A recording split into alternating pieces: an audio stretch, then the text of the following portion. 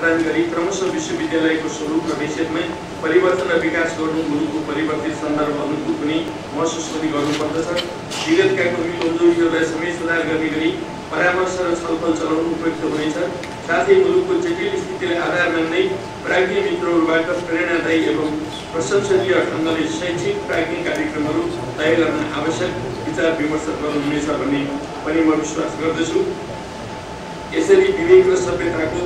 रूपमा युगल विश्वविद्यालयलाई उच्च कोटिको विश्वविद्यालय बनाइराख्न सहजता मिलोस् भन्ने म हार्दिक शुभकामना समेत व्यक्त गर्दै आफ्नो मन्तव्यलाई समाप्त गर्छु